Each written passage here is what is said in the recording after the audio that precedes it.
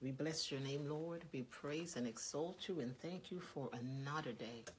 For this is the day the Lord has made, and we will rejoice and be glad in it. God is our strength and power, and He always makes our way perfect. Lord, we bless your name today. We thank you for another new week, God. We give you praise, and we know, Father, that this week will be great. We decree and declare, we know you have a plan for our lives. And so we decree and declare this, we will all have a great week. God has not given us the spirit of fear, but of love, power, and a sound mind. Therefore, we will go forth in the strength and under the power and the anointing of our God, because God is with us he has a plan for us, and He has already empowered us. He's already given us His strength to accomplish His plan. So we thank you again, Father. Thank you for your faithfulness. Thank you for your mercy. Thank you for your grace. We thank you for another new day. And today, Lord, we put this, we put this day into your hands. We say your perfect will be done. Whatever we say and do, we pray that, Lord, it would bring honor and glory to your name. Let the words of our mouths and the meditation of our hearts, let it be acceptable in your sight, O Lord, our strength and our Redeemer. We thank you, we give you praise. And Lord, those of your children who may be going through a surgery today, who may have lost a loved one last night, who this morning couldn't get out of bed, had to be rushed to the emergency room. Lord, we thank you that you are a God that still heals. And I pray, God, that they would reach out to you knowing that you care. You care about every aspect of their lives. And so, Lord, I thank you, those who believe in you for believing you for healing. I thank you, Father, that by the stripes of Jesus they're healed. Those who are going into surgery today, I pray they not be fearful, but we pray, Lord, that you will guide the hands of the surgeons, guide the hands of the doctors, the anesthesiologists, everyone that's going to be a part of this surgery. I thank you, Lord, that it will be done well. And I thank you that your children would rest in you, Father. Those who may have a court hearing today. I pray they would step in that courtroom, even especially if they're a child of you, knowing that you are their righteous judge and you would work things out for their good. So we give you praise, we give you honor and glory. And we pray for those, God, who didn't have a good night's rest because they were being tormented by the enemy. They were being tormented by those voices, who uh, voices that telling them it's not worth the while living, and, and, voices that kept them awake. We come against every plan of the enemy in the name of Jesus. We decree and declare, we speak the word of God with boldness because it is powerful. The voice of the Lord is powerful. The voice of the Lord is full of majesty. The voice of the Lord breaks see this. Yes, God spoke, broke those cedar trees, and every stronghold in the lives of God's children has to be broken. Every tormenting spirit, we speak to you again. You would loose the minds of God's children, loose the minds of our God's children. Every controlling spirit, every spirit of fear, you have to go. Every spirit of rebellion, every spirit of disobedience, every curse on the lives of God's children has to cease now. In the name of Jesus, we call for healing of the mind, healing of the mind. I thank you, Father, that, that, that, that, that your children knows that they are loved by you. They are fearfully and wonderfully made, and regardless of what they may have done in the past, you have not hold that against them. As long as they come to you asking your forgiveness, it's forgiven and it's forgotten. So I thank you for the spirit of peace. I thank you that our children, men and women of God, they walk out in your power, under your authority. They would use your word to fight against all the fiery darts of the enemy, all the lies that the enemy is bringing their way. They will use your word. Greater is God who is in me than he that is in the world. God has not given me the spirit of fear, but of power love, and a sound mind. Lord, I thank you that they will confess the word knowing they have a sound mind. So we speak to every distracting spirit.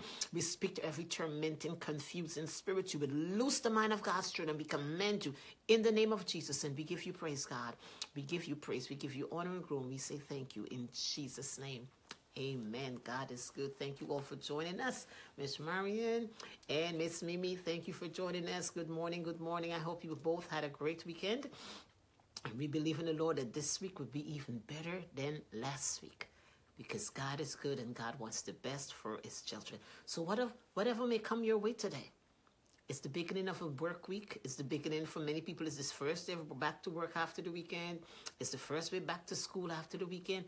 We are going forth in God's strength, power, and anointing. Let's decree and decree. Let's call it into being. We will have a great week. It will be a better week than last week. And I thank you, God, that our children go to school. They're of quick understanding. They understand everything that will be taught to them today. They would focus. They have good attention. Those who are fighting uh, uh, learning disabilities. We thank you, Lord, for touching their mind in the name of Jesus. And we call forth clear thinking. We call forth clear understanding. We thank you, Father, in the name of Jesus, because they can do all things through Christ who strengthens them. You are their healer. You will touch that mind. They'll be able to comprehend and understand and remember what they've been taught and what they studied in Jesus' name. Amen. Thank you all for joining us. Now, today, it's a new topic. We are coming down. We have uh, like what two chapters left. We're coming down to the end of our book, The Purpose Driven Life. I've been enjoying this book. I've learned so much. This is my second time reading this book through. But you know, when God is in it, there is so much. God always has something to, to add to our lives. And so I'm hoping that you have all gained something from us going reading this book together. So again, we're reading The Purpose Driven Life from by Rick Warren. And our confession for today for the children is found in Second Timothy, verse chapter one, verse seventeen. And we probably all know this verse, but I love it. I'm going to say, it says, "God has not given me." Well, the verse says us, but we're going to make it personal. In the Bible, says God has not given us the spirit of fear, but of power, love, and a sound mind. But a confession is God has not given me a spirit of fear, but of power and of love and of a sound mind. Second Timothy 1:17. So children, young people, as you go to and even adults, we could also confess this word. Whatever is coming your way, even before you step out your house, confess the word. That whatever may come your way to intimidate you, to bring fear, you may have a whatever you may have to do in school and some people they don't like math and maybe you may be introduced into something new today and you're sitting there and you're hearing in your mind oh you know you won't do well at this. You know you don't like math you know. And so you start to get nervous. You just confess that word god as not given me the spirit of fear, but of love, power, and a sound mind. I have a sound mind. I have the mind of Christ. Therefore, I'm of quick understanding. Lord, I thank you, Holy Spirit. Interpret it in a way that I would understand when my teacher teach me. And you, you confess the word. God has not given me the spirit of fear. Whatever we have to face today, whatever report we may have heard from the doctor, we will hear. Do not walk in fear. Call on God. Confess the word of God, and He's going to bring you through. Confession for adults is Jesus said to his followers, Go everywhere in the world and tell the good news to everyone. Mark 16 15. And in the King James says, Go ye into all the world and preach the gospel. Um, and tell the news to everyone, baptizing them in the name of the Father, the Son, and the Holy Spirit. Here it says, Jesus said to his followers, Go everywhere in the world and tell the good news to everyone. So, as children of God, we remember last week we spoke about mission. What is our mission? Tell those who don't know God about Him. All right, so chapter 38 in the purpose driven life, and the title of this chapter is Becoming a World Class Christian. Interesting. Interesting topic, right? Okay, becoming a world class Christian. Send us around the world with the news of your saving power and your eternal plan for all mankind. I'm going to read it again. Send us around the world with the news of your saving power and your eternal plan for all mankind. Psalm 67, verse 2. And that's from the Living Bible. The Great Commission is your commission. And what's the Great Commission? We just said it go ye into all the world and preach the gospel. God commissioned us co-mission. That's our mission. So the Great Commission is your commission. You have a choice to make. You will be either a world class Christian or a worldly Christian. Again, you have a choice to make. I would either I have a choice. I would either be a world class Christian or a worldly Christian. Worldly Christians look to God primarily for personal fulfillment. Again, worldly Christians look to God primarily for personal fulfillment. They are saved but self centered. Worldly Christians are saved but self centered. They love to attend concerts and enrichment seminars, but you would never find them at a missions conference because they aren't interested. Against, again, the worldly Christians look to God primarily for personal fulfillment. They are saved but self centered. They love to attend concerts and enrichment seminars, but you would not find them at a missions conference because they aren't interested. They aren't interested in souls, they aren't interested in telling other people about God. Their prayers focus on their own needs. Their prayers also focus on their blessings and happiness. So their prayers focus on their own needs, blessings, and happiness. It's a me first faith. That's the type of faith they have. Me first. It's all about me. How can God make my life more comfortable? That's what they always think about. They want to use God for their purpose, for their purposes, instead of being used for His purposes. Again, worldly Christians want to use God for their purposes instead of saying, God, use me for your purposes, use me for your glory. What do you want me to do for you, God? What do you want me to enrich the kingdom? That's not what they say, but they want to know. They want to use God for their purposes. In contrast, world class Christians know they are saved to serve. World class Christians know they are saved to serve and, and made for a mission. They know that they're saved to serve and they're made for a mission. They are eager to receive a personal assignment and excited about the privilege of being used by God. Isn't that awesome? Again, world, world class Christians know they were saved to serve and made for a mission. They are eager to receive a personal assignment and are excited about the privilege of being used by God. World class Christians are the only fully act, fully alive people on the planet world class Christians, he said, are the only fully alive people on the planet. Some people may not agree with that, but let's see what else he has to say. Their joy, confidence, and enthusiasm are contagious because they know they're making a difference. Again, their joy, confidence, enthusiasm, uh, and enthusiasm are contagious because they know they're making a difference. They wake up each morning expecting God to work through them in fresh ways. Mm. Isn't that amazing? Because we know who we serve. We know the God who's our source. We know our purpose. So we wake up saying, God, I know you got something great for me today. Exciting. So they wake up every morning expecting God to work through them in fresh ways. Which type of Christian do you think you are? Or which type of Christian do you want to be? Which type of Christian? Do you want to be a worldly Christian or a world class Christian? Am I a worldly Christian or am I a world class Christian? God invites you to participate in the greatest, largest, most diverse, and most significant cause in history. Again, God invites you to participate in the greatest, largest, most diverse, and most significant cause in history His kingdom. Nothing, history is His story. His story is His God's story. He's building his family for eternity. Nothing matters more and nothing will last as long. Again, history is his story, which is God's story. He's building his family for eternity. Nothing matters more and nothing will last as long.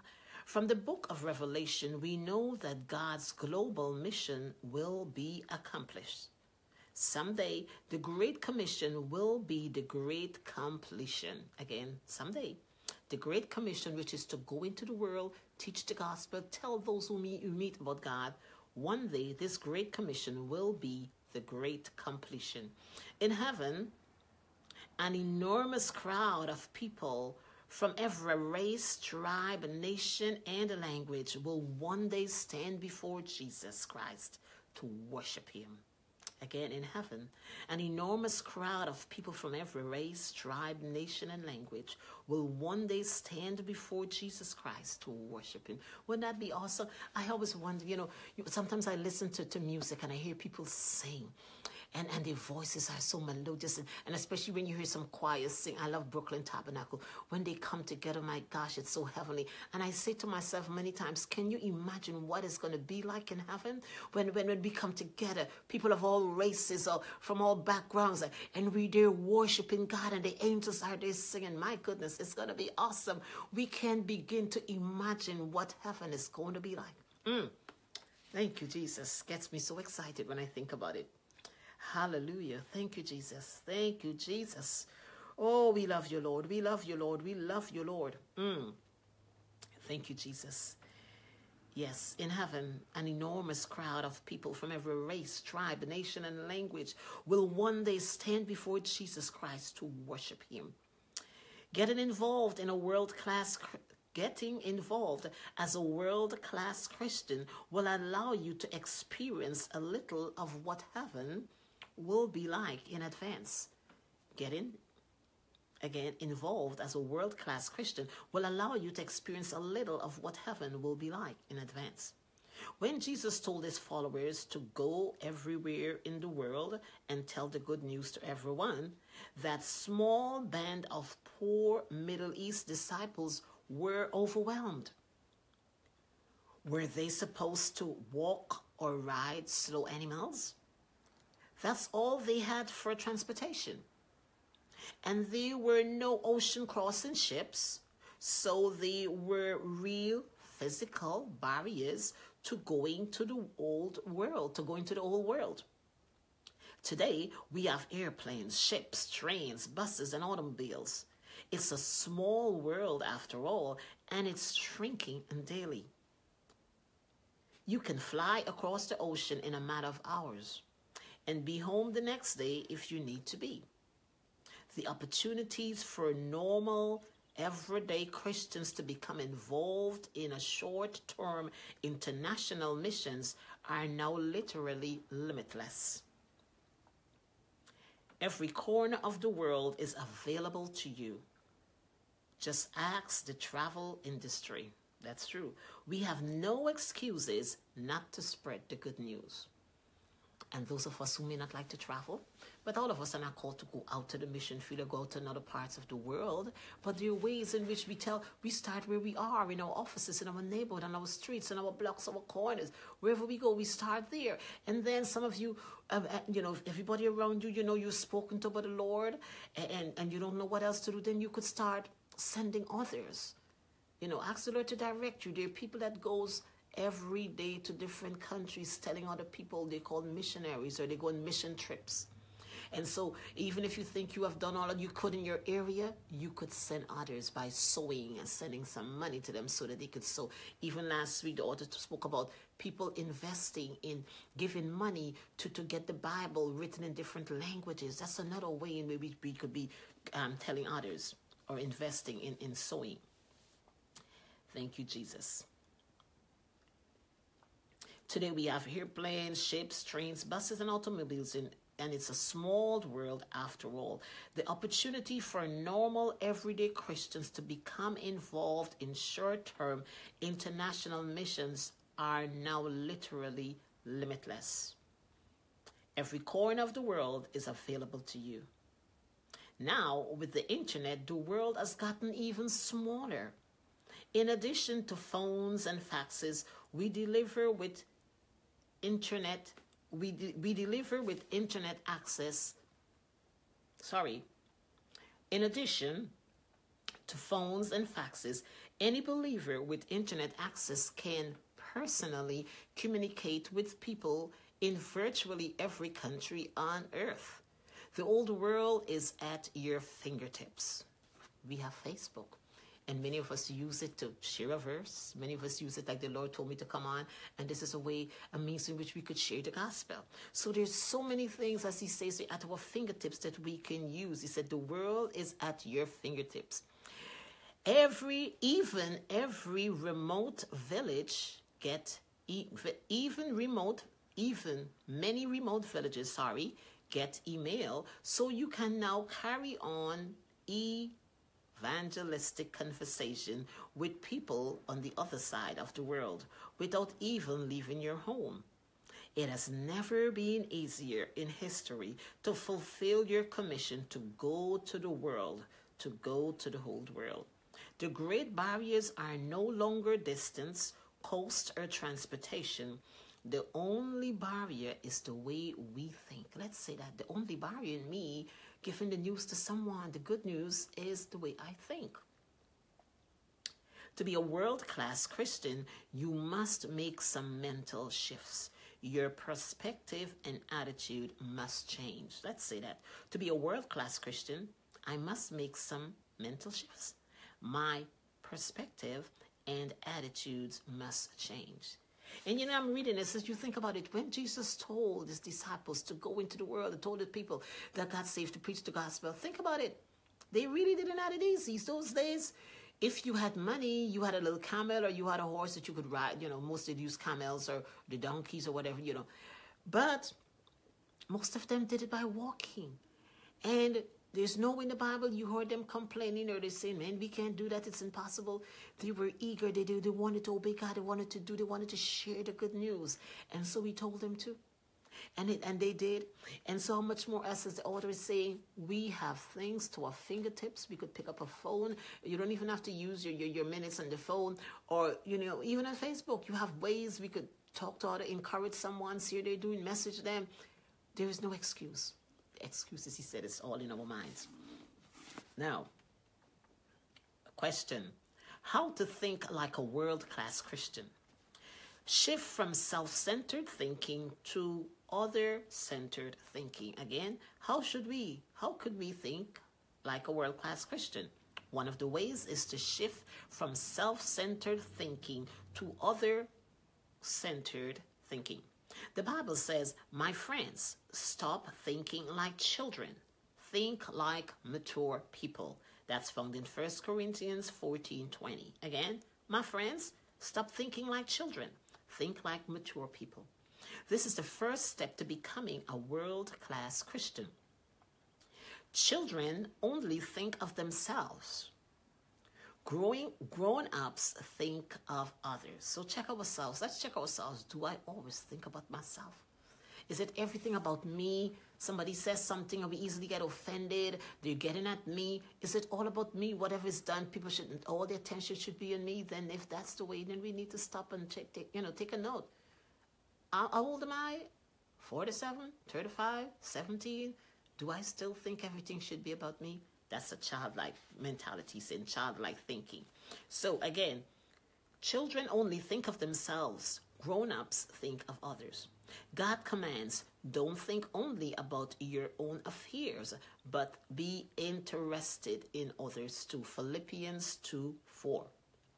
Of course, this is a difficult mental shift because we're naturally self self observed. And almost all advertising encourages us to think of ourselves. Mm-hmm. The only way we can make this shift is by movement by sorry is by a moment by moment dependence on God. The only way we could shift from that type of thinking is by going to God and said, God, help me. Help me to focus on what what what what you want me to focus on. Help me to focus on what is important to you. What's your what's important to you? Let it be important to me. That's the only way we can do it by asking God. Fortunately, He doesn't leave us to struggle, meaning God does not leave us to struggle on our own. God has given us His Spirit.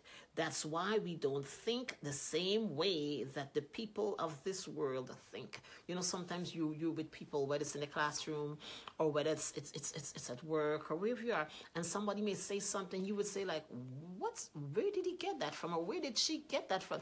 How did that come to his or her mind?" And you you start wondering. You always got to check yourself. Mm-hmm because Christ is not in their hearts. It's open, and the enemy brings all kind of stuff and dumps into people's minds, and they just speak what they feel or what they hear. But when you are, when you become to know Christ, when you get to know God, it's a renewal of the mind. It's a renewal of the mind. So it's he says here, God has given His Spirit so that we don't think the same way that the people of the world think. Begin asking the Holy Spirit to help you to think of the spiritual need of unbelievers wherever, whenever you talk to them. Again, let's all begin to ask the Holy Spirit to help us to think of the spiritual need of unbelievers whenever we talk to them. With, with practice, you can develop the habit of praying silent breath prayers for those you encounter. So habitual, as you practice doing it, you could you could you could make it a habit of praying silent breath prayers for those you encounter. Say this he's given us an example. Father, help me to understand what is keeping this person from knowing you. That's a good prayer. Quietly to yourself, Lord, help me to understand what is keeping this person from knowing you. Your goal or our goal is to figure out where others are in their spiritual journey and then do whatever will bring them a step closer to knowing Christ. Our goal, he says, should be to figure out what others, where others are in their spiritual journey, and then do whatever will bring them to a closer step to knowing Christ. You can learn how to do this by adopting the mindset of Paul, who said, I don't think about what would be good for me, but almost what would be good for many people so that they might be saved. Mm, what a selfless prayer. Paul said again, I don't think about what would be good for me, but what but about what would be good for many people so that they might be saved. One time my pastor said that sometimes we're working at a place and we're going through stuff and people and some individuals will go to God and cry, God, deliver me from this place. I'm the only Christian here and da da da da and they're crying out to God and he said, did you ever stop to think, well, there is a reason why you're there? If you're the only Christian there, then maybe then that God wants to use you as that light. Don't go crying to God, take me out, remove me from these from these heathens, remove me from these unsaved people, these ungodly people. No, stop and think, God. Yes, I'm the only Christian here. And yes, it may seem a bit hard or impossible, but your word says, I can do all things through Christ who strengthens me. And you said in your word that we should tell others. So, Father, you show me how. I can and what I should say, and, and you know, and it, it, now it doesn't mean you taking the boss's time to, you know, to preach to people but by your words, simple day to day things that you do. You know, someone may say something um, that you think may upset you, give them a smile because they don't know better. You have the Christ, you have the Holy Spirit in you. So say, Lord, whatever I do, somebody's in need of something, you try to help them. Let them see the fruit in you. And as they see the fruit in you, many times they will come and ask you, why are you so happy? Or why are you doing this? That is the way for you to. But whatever you do, even let's say maybe you leave in work after you clock up and you're walking down the hall and somebody said, man, I'm in such pain. Or man, this day was so ridiculous. I had a terrible day. That is the, that is the opening for you to say something about the Lord. But where we are, wherever we are, you look for, see it as a place where God can use you. You look around, you see people don't know the Lord. And don't get mad at the way they behave because they don't know God. Let's ask God for a heart of compassion, as He says. Leslie said it before. Our goal is to figure out where others are in their spiritual lives. Ask the Lord Father, help me to understand what is keeping this person from knowing you. And simply by helping them out in a simple situation, whether they may say, Oh my goodness, I forgot my lunch home today. And that's your cue. You know what? I could take you for lunch, and you take them to lunch, and while you're sitting down there, you bring it up. You talk about, um, God, as you know, man, how was your weekend? And if they start saying something, you could say, my dear, my weekend was good. God is good. I went to church. And, and then and it's just a little look for ways. Let's say, God, show me ways in which I could minister to this young lady, this young man, my friend, whatever. So let's remember, he says, He is with us. We are not alone. So again, I'm going to read this. Paul, you can learn how to do this, meaning how to minister to others, how to to, to, to, to meet them at their need by adopting the mindset of Paul, who said, I don't think about what would be good for me, but about what would be good for many people so they might be saved. And some people may say, well, that's crazy. Who going to take care of me? I got to take care of me. What it means in that sense, yes, you look about the phase of your life, whatever, but your main goal should not be all about you. You're thinking, souls, souls, souls. What if this person dies tomorrow? What if, what if I don't see them another day? Let me try to tell them about Jesus so that they will not miss it, so that they have an eternity of joy and peace and happiness. So that should be our goal. Show me, God, how can I reach this, this my co-worker? How can I meet my, my classmate? How can I meet my, my professor? Whatever. Let's ask God. And He's not going to leave us. He said He's with us all the way, even to the end of the world. And so many times we just have to have that shift in our minds.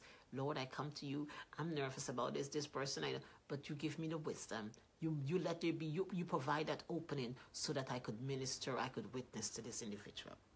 And we will stop here for today. It's 7.02. I don't want to go over time. But let's remember again, as I said, God is with you. Our commission is His commission, His mission. That's our commission. He commissioned us to go and tell others, and we can do it. And so let's look at ourselves. Are we, the question today, how to think like a world class Christian? Am I a world class Christian? Or I, or am I a worldly Christian? Only there, going to church, looking to God to see what I could get to enhance my life, what, what, what I want from God. Mind you, when we, the thing about it, when you put yourself out there to God and said, God, use me, when you begin to do what the Lord asks you to do, He takes care of you. Believe you me. He opened doors that, I mean, as I share with you, there are things that may be in your mind. You don't even have to pray for it. And He provides because you are His child. It's like you being a mother or a father and you see the need of your child. Before they ask you many times, you go get it because you know there's a need. That's who God is. So when we take care of, our, of God's business, many times we don't even have to worry about ourselves. He already has it there for us. So, and many times, you know, we step out there in fear. And so I know it's it, a lot of us, our faith are not at that level. But the word of God says, Seek ye first the kingdom of God and his righteousness, and all things will be added unto you. I mean, there's so many testimonies I can share with you, but God is good. Let's remember, as I take care of God's business, he will take care of mine. We don't need to have, you know, many times we push ourselves and we do things, we go the extra mile, do things that we don't even need to do. And God is saying, if she would just take the time to listen to me, or he would, I've already made that thing possible for her or him. But they're so focused on getting it, they're so focused on whatever they need. They go there, sometimes they waste time and money. And if they would just come to me, I, I already had it there for them. I would just show them how to get it. It's so easy. So let's let's take that time and think, what am I doing? My life, what does it show? Is it all about what God has done for me and what I could do for God to, to, to bring souls to Him? Or is it all about me, me, me? Some of us have our plans and it's good to have goals. Uh, I'm going to go to church or I'm going to get involved and in the church when I finish getting my doctorate, when I finish getting my house, when I, and we're in two jobs and we're going, and our lives are messed. We can, many times, husband, spouses coming and going. Wife cannot see the husband, husband cannot see the wife we're all so busy, so busy going after things. And mind you, it's not bad to have a, a, a purpose and, and, and to have a grow gold, but we should not let it overtake us to the point we can't serve God. We can't see our family members. If we're in that situation today, when fathers, when the wife is coming in, the father, husband is going out, and, and, and going this way, that way, and everybody's so busy, involved in two jobs and in school. Let's let's take a time and say, Lord, show me. You schedule my life. Show me what I need to do. We don't want to be burnt out. We don't want to be burnt out. We don't want to be all self centered on ourselves. So let's pray. Father, I thank you for your word. Thank you for reminding us of who, whose we are, when we bring our lives to you, Lord, we belong to you. And, and you would not force us to do anything that we don't want to do, God. You are not that. You're not a controller. You give us a free will. It's out there for us. You show us your word. You tell us what you want us to do, and it's up to us if we want to obey. But Lord, there is there are benefits when we obey you, Father. You said if you're willing and obedient, you will eat the good of the land. So help us, God. Those of us who think that we have to take care of ourselves and, and we are in control of everything, help us to remember that you are in control. And whatever we need to do, God, we would bring it to you today. We will spend that time listening to you, and most of all, we would make ourselves available to tell someone about you. Help us, Father, just draw on your strength and to remember life is not all about us, but it's being the person you want us to do, be. And as we help others, you will open the doors for us and you will take care of all of our needs. So we give you praise, honor, and glory as we go today, Lord. Help us to remember who we are in you. Help us to move in your faith, move out there in confidence, knowing you are with us. You will provide and take care of every need. We give you praise in Jesus' name. Amen. Thank you all for joining us today. Miss Gomez, long time no see, girl. Thank you for joining us. I hope you all have a great day. And um, remember, give someone a compliment, whether it's a child or an adult. Give them a compliment. You don't know what an encouragement that may be to this individual today. Be blessed. Thank you for joining us. We'll be back tomorrow talking more about a world class Christian. Take care. Bye. Have a great day.